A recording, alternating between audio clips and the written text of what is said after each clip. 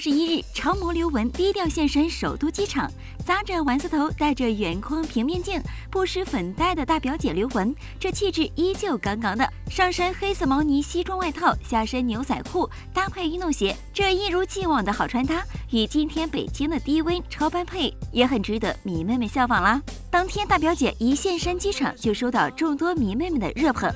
我们大表姐也是不改其名本色，对镜咧口笑，和大家打招呼。看这娇羞的小表情，很是可爱了。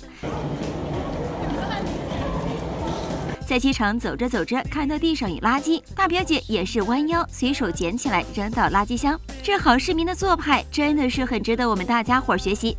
前段时间有网友投票选出最受欢迎的女明星前二十名，作为模特的刘雯当选第五。好感度上力压众多女明星，看来这就是原因了。